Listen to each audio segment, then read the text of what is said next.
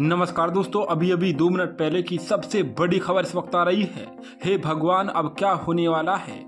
Iceland में 14 घंटे में 800 भूकंप आए हैं। भूकंप के झटके दक्षिण पश्चिम में रेगजेंट्स प्रायद्वीप में शक्तिशाली भूकंपों की एक श्रृंखला के बाद महसूस किए गए हैं। इसके चलते शुक्रवार को आपातकाल की स्थिति घोषित कर दी गई है। माना जा रहा है कि भूकंप जल्द ही होने वाले बड़े ज्वालामुखी विस्फोट का संकेत है।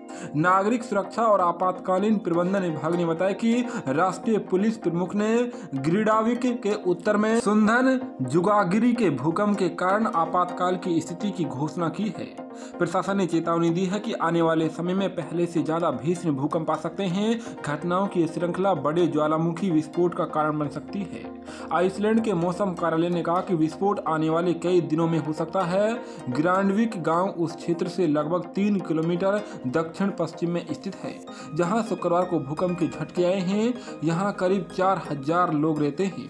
ज्वालामुखी विस्फोट होता है तो इस गाँव से सभी लोगों को निकाला जाएगा। इसके लिए तैयारियाँ की गई हैं।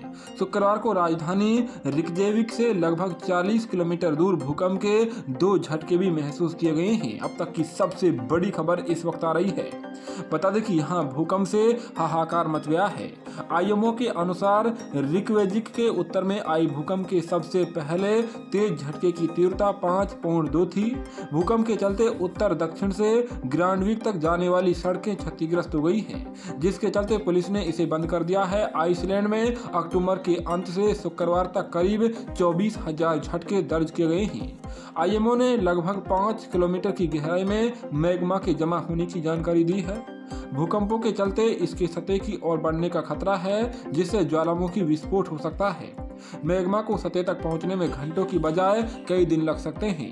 यहाँ दोस्तों पूरे इलाके में हाई अलर्ट जारी कर दिया है। अब तक की सबसे बड़ी खबर आइसलैंड से आ रही है, जहाँ 14 घंटे के भीतर 800 बार भूकंप आया है। बता दें कि इस समय पृथ्वी पर उथल पुथल मच रही है। पिछले कुछ समय से लगातार भूकंप की घटना देखी जा रही है। जिससे लोग भी दहशत में हैं क्योंकि हर दिन अलग अलग देशों के अंदर भूकंप की घटना देखी जा रही है और अब बहुत ही बड़ी खबर सामने आ रही है।